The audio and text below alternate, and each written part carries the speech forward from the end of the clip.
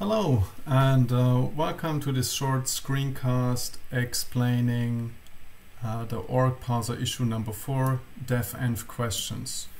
Your three questions here are all interrelated, that's uh, why I thought I'll quickly make a demonstration. They are all uh, related to tooling. Your first question is how do you compare lein test output? Those are super long strings, how in the world are you going to compare them? Your second question is, well, I know this is what I should have, but how would the fuck create, can I create it quickly so that I can write a proper test? And your third question is, well, lein test is super slow. It takes five and a half seconds. How should I run that? It's not funny. Well, they're all related to tooling. Uh, first things first, Clojure is a Lisp. With a Lisp, you can connect your REPL to the live application, and then you never ever have to restart the REPL. Lein test is just a small wrapper that starts the REPL, then runs the tests and then stops.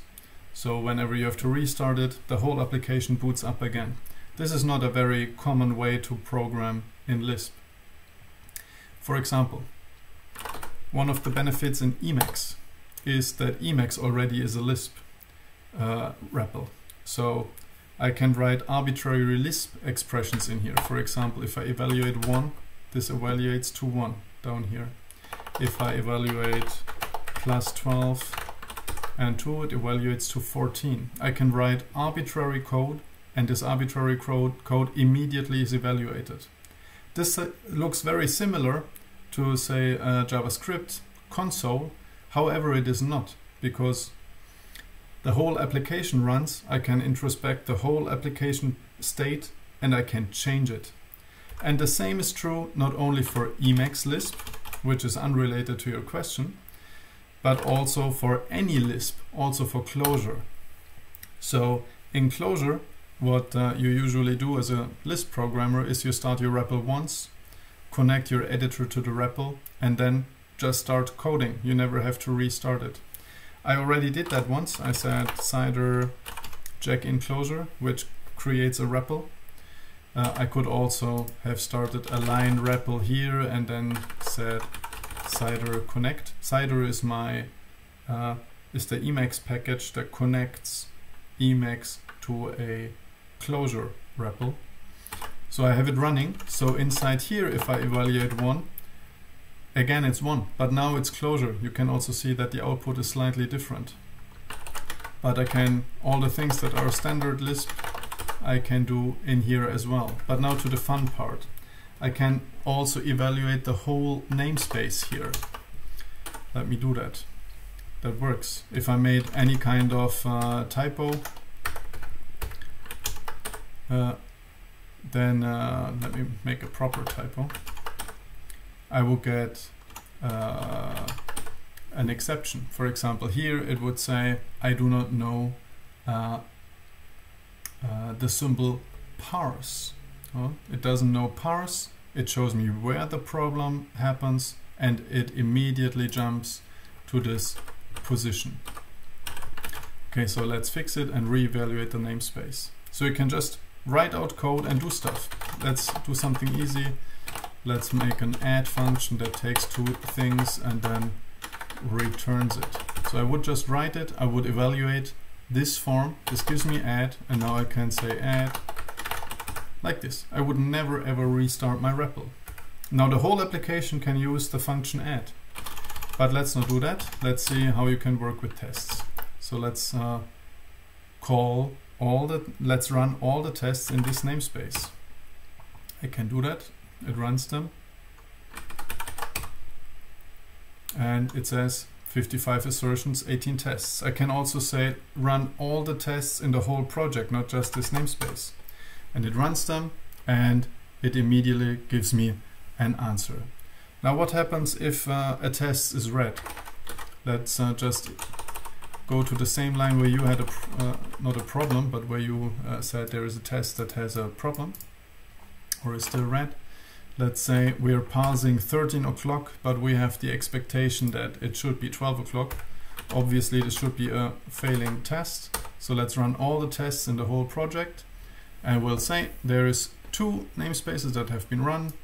111 uh, uh, assertions and tool failures.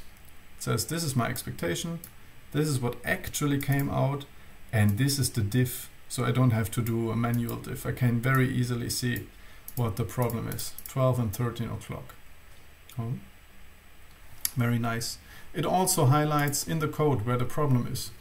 It's test number uh, in, in line 260 and something. Same happens if I go and add more mistakes, or not mistakes, just failing tests. Let's run them. I just run the tests in the namespace now.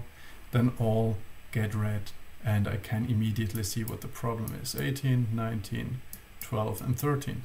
Very, very easy. So let's fix them. Uh, here I can of course just make undo, rerun the tests. Everything is green again. Okay, so this is your first question. How do you compare it? You let the editor do the hard work. Second is, okay, so I want to write a test and it should expect all this shit. So should I type this by hand or can I uh, just create it? Well, of course, you can uh, just capture the output of this. So let's do that. Let's go here and uh, just get the parse function from where you used it and then just evaluate it. I can now inspect cider inspect last result. I can see the last result or I can even say cider uh, print last print eval last sexp then I uh, get it like this and I can copy it. Huh?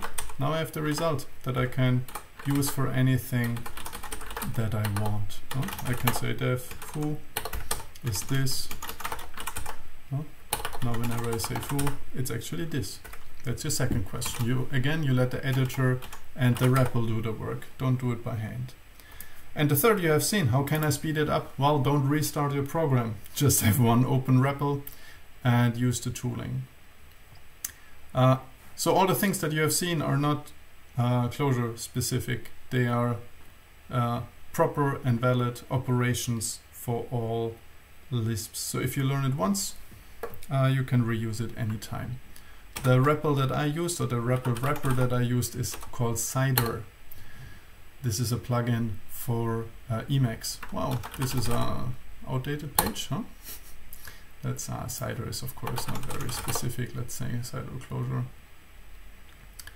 Yes, that's the one that I've been using. Huh? That's the most popular Clojure uh, interactive development environment. Uh, yes. If you're using Vim, there is a Vim Fireplace by Tim Pope. That's the most popular one for Vim.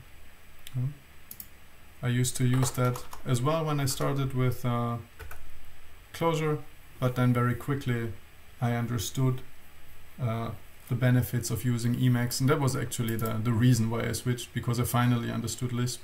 But uh, Fireplace is very, very popular. Lots of people like and use it, and Tim Pope is doing great work, and there's still uh, stuff being built. So you can definitely also use that instead of uh, the Emacs Clojure wrapper.